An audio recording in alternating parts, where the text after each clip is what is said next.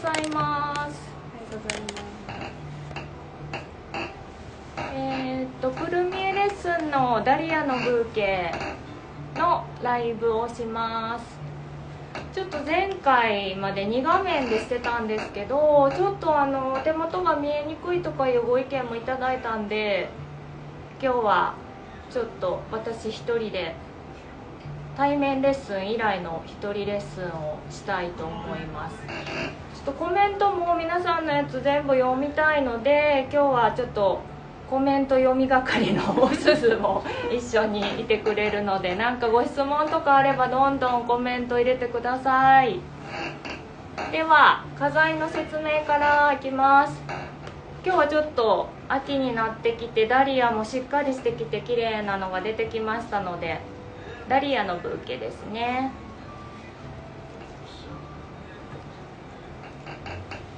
ダリアこちらです。恋金魚っていうダリアで長野の南信州のダリアですね。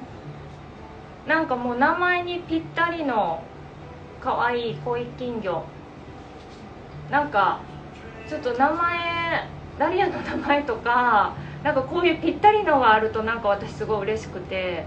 こんな可愛いのにこんな名前みたいなのもたまにいるんですけど今日のは本当に名前にぴったりの恋金魚ちゃんを使います。あダリアねなんか恋金魚はちょっとこの丸い咲き方あのポンポン咲きっていうんですけどこういうあの赤と白のバイカラーのダリアって他に、えっと、スタンダードの咲き方するラララとか恋花火とかちょっといろいろ種類があるんですけど恋金魚はこういう丸いあのポンポン咲きのものですね。これを使います。そしてケイト。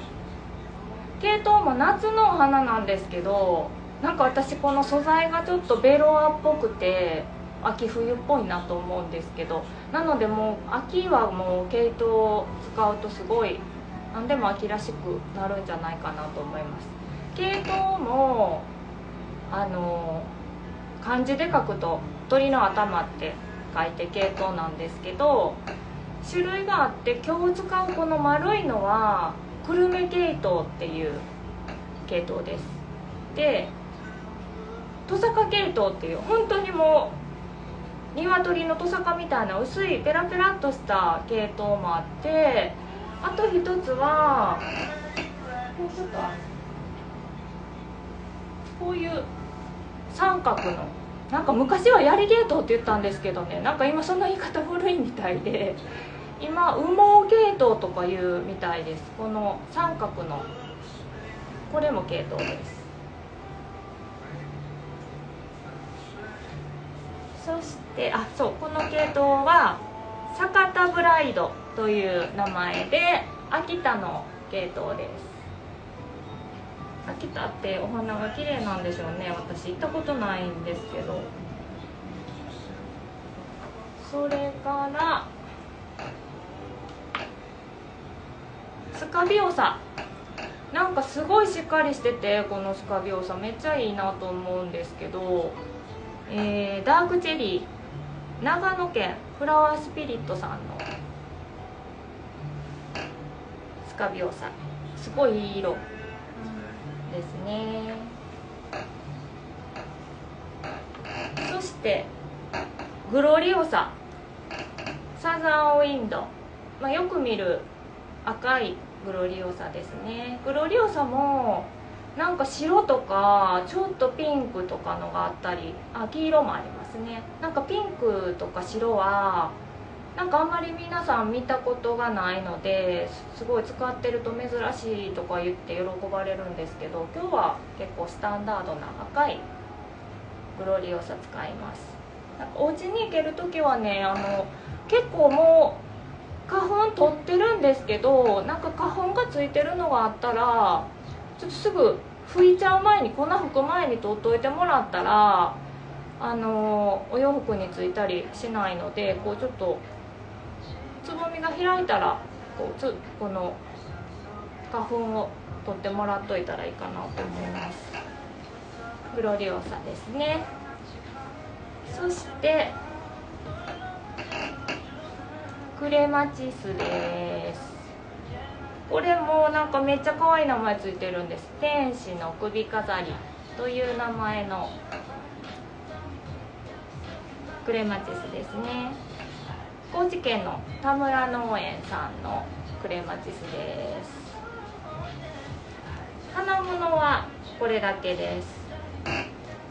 で枝物ですけれども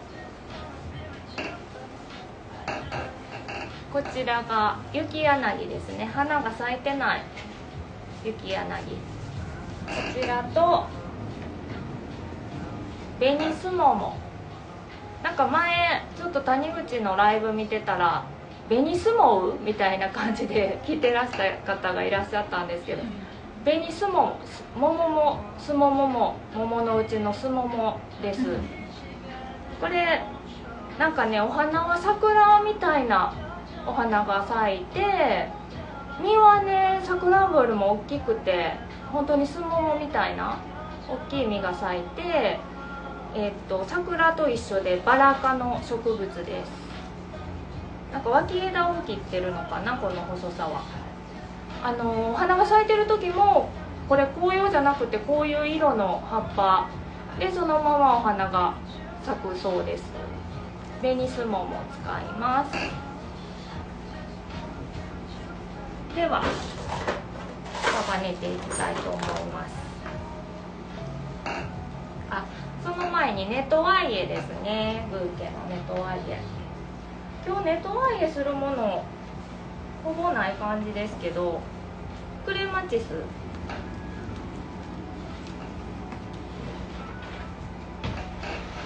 クレマチスはちょっとこう下の方まで花がついてるんですけど上に上の方の花だけちらっと見せる感じで使うので下はもう取っちゃってください。これなんかまたちょっと一輪挿しとかにさせてもらって。こんな感じですかね。これももうこの下の脇枝は取ってしまいます。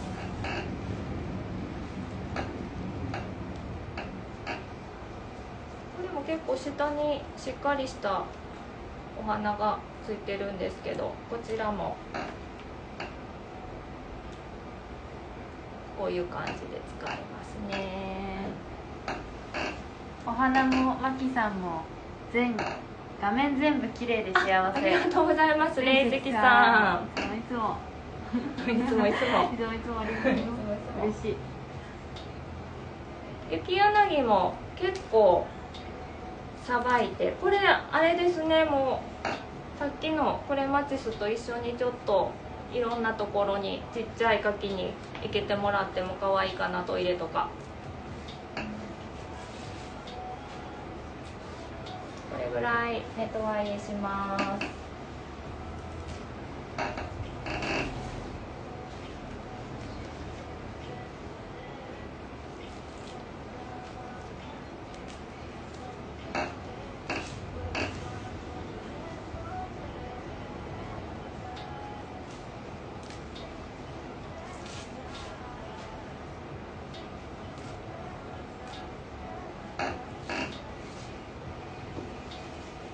エニスモモもそうですね。これぐらいかな。ここ落として。ちょっと先の葉っぱが見えるぐらいこ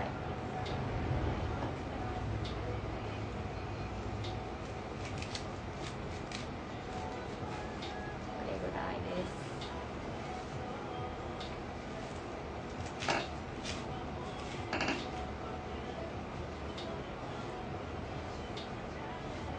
では主役のダリアからダリアなんかいろんな顔の方向がこれとか真上向いててこれは正面結構前向いてたりするんでこの顔の向きちょっとあの意識して同じ方向みんなが向いてなかったりとかちょっと傾けてみたりとかその表情を見ながら束ねてもらったらいいかなと思います。でちょっとお花が重くて首がぐって下がってる子とかもいてるんでそういうのはちょっとこういう硬いまあ毛毛糸とかカーネーションとかそういう花材でちょっと顎をねこうクッと上げてもらうとちゃんと上向いてくれたりするのでちょっとクコーンってなってる子がいたらそれはあの水が下がってるとかじゃなくてお花の重みでちょっと下向いてる子がいたらちょっとこうグッと顎をクッと上げてあげてください。では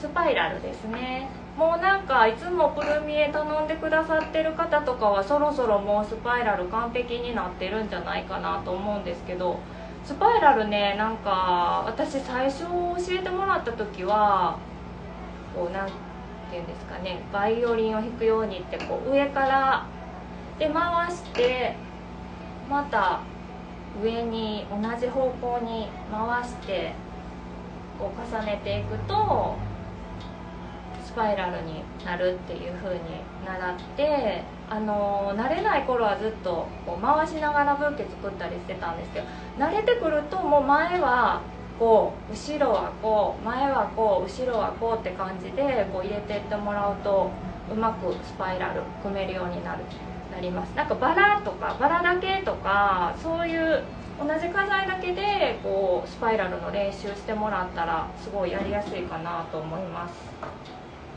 では今度こそ。ダリアをメインに。ちょっと今日は花材が少ないのであっという間にできてしまいそうですけど。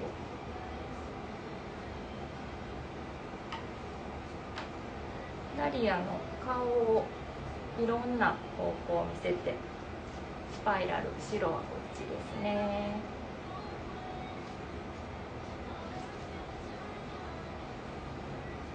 れはちょっと上向いてるので真ん中ら辺に入れます。勉強になります。あよかったです。練習してください。何か質問あればちょっと知ってる範囲でうんちく語りますので。こんな感じで。次はちょっとこのダリアの隙間に系統を見せる感じですね。かわい。いめっちゃ可愛いです、うん。本当に。あの系統久留米系統が一番これぐらいの大きさの久留米系統が一番使いやすいかなと思います。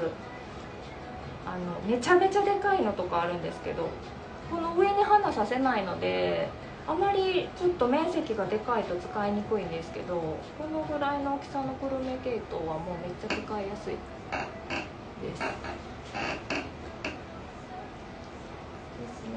でちょっとこの辺りでクレマチスを間に。クレマチスもねこんな風にこうすごい自立してる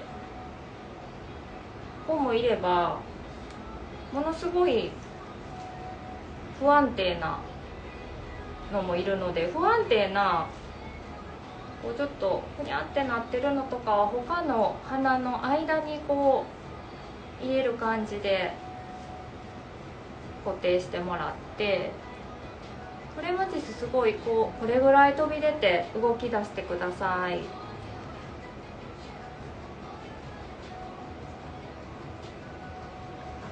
私もスパイラルができなかったので市場直送の柄でやったらできるようになりました。さすが。そうなんですよ。バラが一番ね茎も太くて折れないしもうあの私も昔は切ったアレンジ終わった茎だけとかで練習したりとか？そんな感じのこともしてました。次スカビオサ。スカビオサもあのちょっと高めに？今日は主役がダリアで脇役が系統で飾り役がこのスカビオサとグロリオサかなって感じで。ちょっと大きくて存在感あるので。で、えっと、花材ねあの今回系統2本ですけど大体奇数で3とか5とかで7とかあの使うのがすごい作りやすいです。これとかだと今こことここにスカビオサ入ったので、まあ、三角形になるように次この辺りみたいな感じで。こう位置を決めてもらって。ね。ああとグロリオサすいません。ちょっと一番下のこのグロリオサはちょっと邪魔になっちゃうので切ってこれもあの一輪挿しの1本でもすごく存在感ありますので。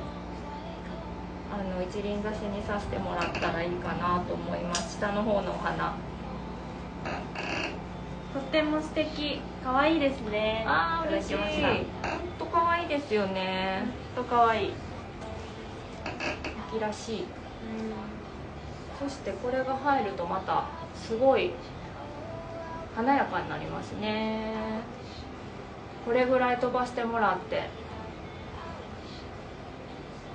もう大胆に飛ばしてもらって。これでお花だけです。あとはグリーンで周りを。ベニスモモはやっぱりちょっと今の季節ちょっと紅葉を意識した葉物なのでちょっと存在感アピールしながら入れてもらったら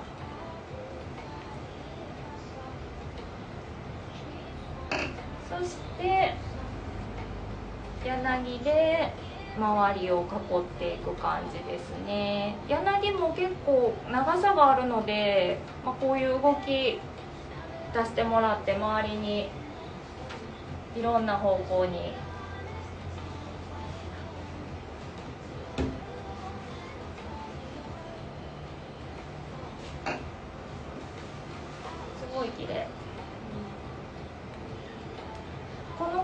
あの残り3個あと3個出せるのでもしあのライブ見て素敵とか思ったらポチってください。あと3個出せます。今日の4時4時ぐらいまでにご注文いただけたら本日発送して明日お送りできるので。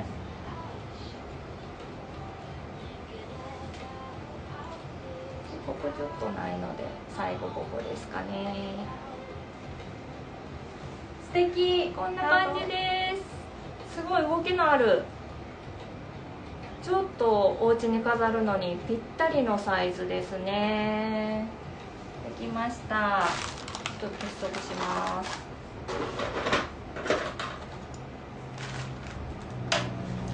あ紐の結び方もいつもちょっと対面とかだったら皆さんにちゃんとおすすめあのおすすめっていうかおお教えするんですけど今日はちょっと見えるようにやってみようと思います。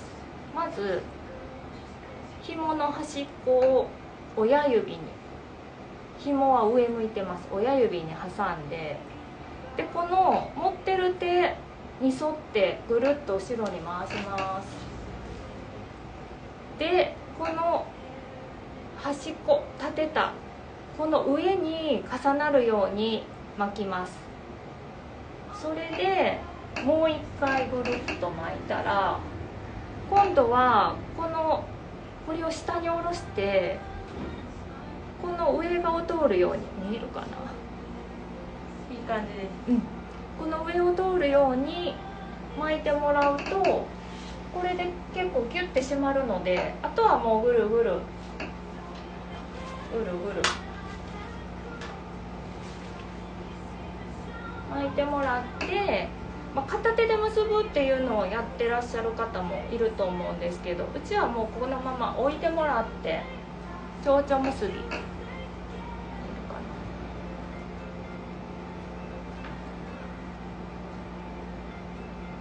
こういうやり方をおすすめしてます。で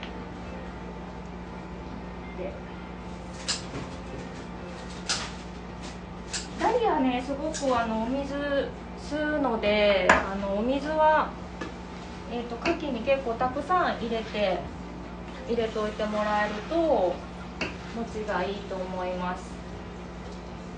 今日はちょっとラクスなんだっけ。え長が長野長野アメジスト。ちょっと黒い長に水の量はそれぐらい。結び方初めてです。ありがとうございます。ったです。ちょっとやってみてください。結び方も。結び方が一番難しいとかレッスンの時に言われてる方いらっしゃったんですけど。長野アメジストです。が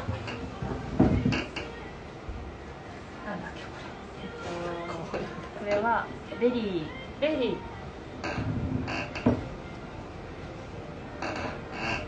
隠すちょっとここっちもいいかなみたいな。あスカビオサの高さはそうですね。どれぐらいっていうあのもう本当にお任せなんですけどちょっとこれも揺れる火災というかこうふらふらと動きが出た方がいいので私今入れてるのはだいたいダリアから5センチぐらい高く入れてます。まあそれはお好みなので別にあのあんまりこうフラフラしてるのが嫌だなっていう方はギュッてあの詰めてもらってもいいですし私は5センチぐらい高くしてます。ちょっと動きが出るように。でグロリオサはさらに高くそうですね。ダリアから1 0センチぐらいこの辺は飛び出てる感じで入れてます。あとベニスモモもちょっと高さ出して5センチぐらいですかね。出してます。とても素敵です。いただきあよかったです。ハート。まはい。こんな感じで出来上がりましたなんかちょっとライブで見られてない方もまだレッスン課材が届いてない方もいらっしゃると思うのでもしちょっとやってみてなんかここわからないみたいなことがあればいつでもメールとかいただいたらあのお答えしますのでまたご連絡ください。秋らしくもあり流れもあり豪華で素敵です。ねえもうダリアが入るだけで本当に高価ですバラかダリアかみたいな。そんな存在に私もなりたいみたいな感じの。はい。めっちゃ皆さん綺麗。あこっち。マキさん可愛い。ではまた何かご質問あればメールください。終わりますありがとうございました。